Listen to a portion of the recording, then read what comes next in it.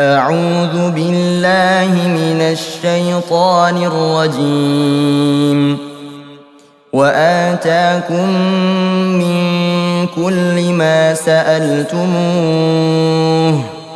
وإن تعدوا نعمة الله لا تحصوها. إن الإنسان لظلوم كفار. وإذ قال إبراهيم رب اجعل هذا البلد آمنا واجنبني واجنبني وبني أن نعبد الأصنام. رب إنهن أضللن كثيرا من الناس.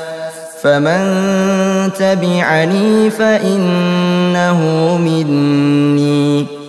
ومن عصاني فإنك غفور رحيم. ربنا إني أسكنت من ذريتي بواد غير ذي زرع عند بيتك المحرم ۖ. ربنا ليقيموا الصلاة فاجعل أفئدة من الناس تهوي إليهم وارزقهم تهوي إليهم وارزقهم من الثمرات لعلهم يشكرون. ربنا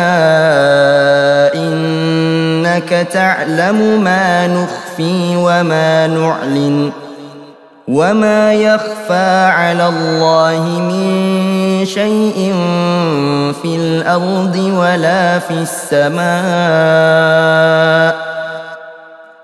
الحمد لله الذي وهب لي على الكبر إسماعيل وإسحاق.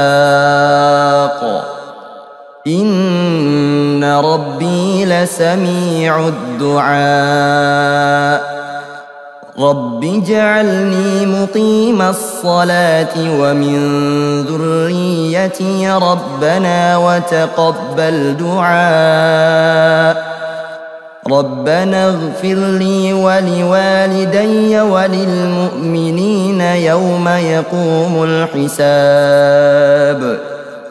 ولا تحسبن الله غافلا عما يعمل الظالمون